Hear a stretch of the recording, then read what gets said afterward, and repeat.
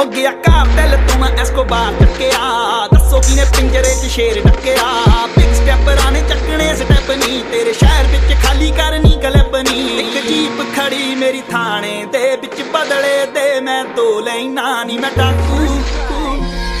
ਨੀ, ਮੈਂ ਡਾਕੂ। ਇੱਕ ਨੰਬਰ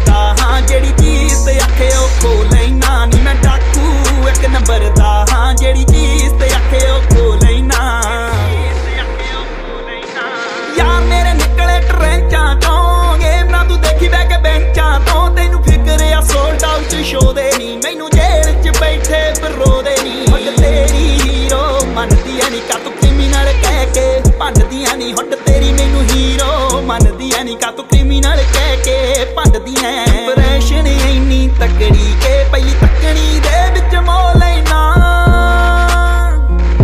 ਨੀ। ਮੈਂ ਡਾਕੂ, ਨੀ ਮੈਂ ਡਾਕੂ, ਇੱਕ ਨੰਬਰ ਦਾ, ਹਾਂ, ਜਿਹੜੀ ਚੀਜ਼ ਤੇ ਆਖੇ ਉਹ ਖੋ ਲੈਣਾ ਨੀ ਮੈਂ ਡਾਕੂ, ਇੱਕ ਨੰਬਰ ਦਾ, ਹਾਂ, ਜਿਹੜੀ ਚੀਜ਼ ਤੇ ਆਖੇ ਉਹ